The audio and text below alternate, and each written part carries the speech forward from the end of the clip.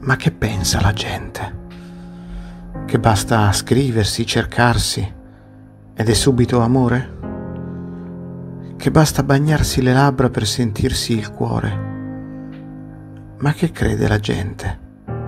Che basta apparire per esserci?